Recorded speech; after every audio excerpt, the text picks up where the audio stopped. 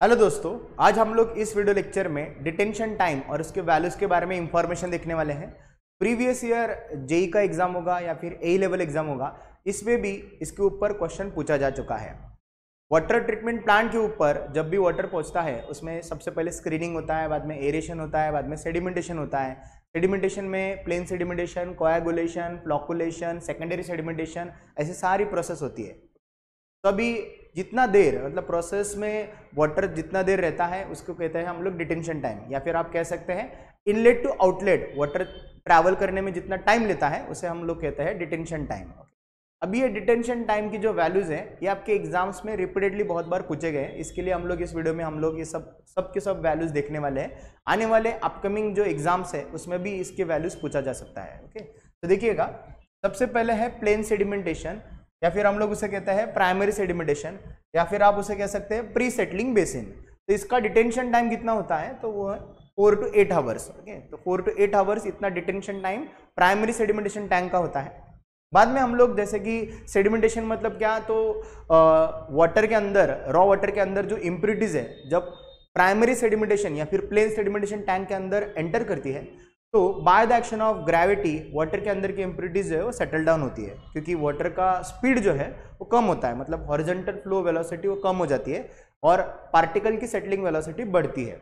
इसकी वजह से particle by the action of gravity पानी के अंदर सेटल डाउन होती है, ठीक है?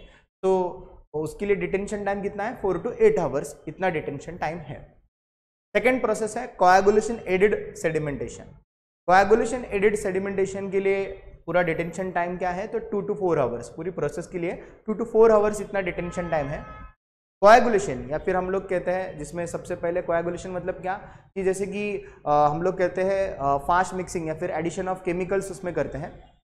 कोएगुलेशन में केमिकल जो यूज़ किया जाता है कोएगुलेंट जो यूज़ किया जाता है उसको हम लोग जो मोस्टली यूज़ करते हैं वो है एलम एल्यूमिनियम सल्फेट तो एल्यूमिनियम सल्फेट या फिर एलम जो है एज अ कोयागुलेंट करके हम लोग यूज़ करते हैं और उस कोयागुलेंट को रॉ वाटर में फास्टली मिक्स करते हैं रैपिडली मिक्स करते हैं।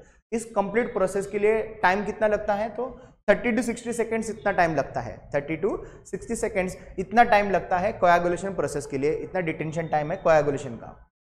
कोएगुलेशन होने के बाद में हम लोग करते हैं फ्लॉकुलेशन तो फ्लॉकुलेशन में हम लोग जो फ्लॉकुलेशन चेम्बर है, उसमें उसका एम रहता है लार्ज और डेंस ब्लॉक्स को फॉर्म करना।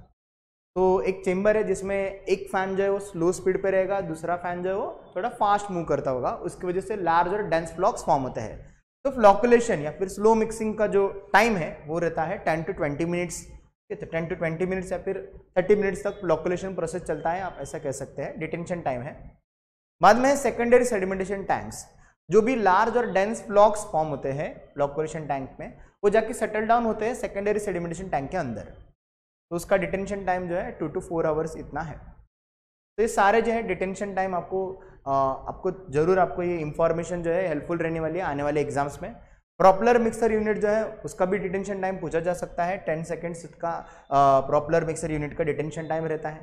साथ ही में अभी हम लोग जैसे कि ट्यूब सेटलर्स यूज़ करते हैं। तो ट्यूब सेटलर जिसमें कोएगुलेशन फ्लॉकुलेशन ये सारी प्रोसेस होती है तो ट्यूब सेटलर का डिटेंशन टाइम टेन मिनट से भी कम रहता है ओके ये सारी information this is regarding the detention time आगे भी हम लोग कुछ और वीडियोस लाने वाले हैं जिसमें आपके जे लेवल स्टेट में ए लेवल एग्ज़ाम्स होती है T C S I B P S exam conduct करती है। सो so, बहुत सारी वैल्यूज़ रहते हैं फॉर्मूलाज रहते हैं थियरी पूछी जाती है।